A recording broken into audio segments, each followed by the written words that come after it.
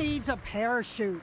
Jumpers are away. Not the guy in green. 42 year old Luke Aikins was aching to free fall all the way. I've been training this for two years. My whole life's been dedicated to skydiving. He's made almost 18,000 jumps. Now, from almost five miles up, Luke aimed for a net the size of a third of a football field in the desert north of LA. So that net is going to catch me like if you were going to catch a raw egg. Either that or Luke's going to end up scrambled on a live Fox TV broadcast with his wife and four year old son watching. I'd be lying to say if I'm not a lot nervous. They tested and tested the net.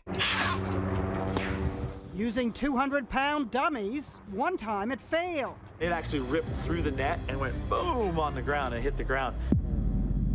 So they made the net stronger. Just a day or two before the stunt, Luke says the Screen Actors Guild, the union, told him he couldn't make the jump unless he wore a parachute. Since he had to land on his back, Luke said wearing the chute back there would be dangerous, and at the last minute, the Actors Guild relented. He is not required to do so. One by one, Luke's teammates opened their chutes, leaving Luke alone like a 120 mile per hour speeding bullet headed for the net. Decade ago, a daredevil in shorts jumped without a parachute, a skydiver locked on like mating butterflies, and fastened the guy to his harness. The pair floated down together. For free falling Luke, the critical part was turning his body a second before he hit the net, so his back would hit first.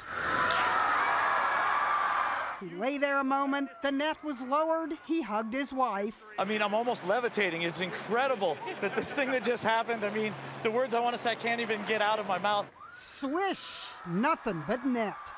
Jeanne Moos, CNN, New York.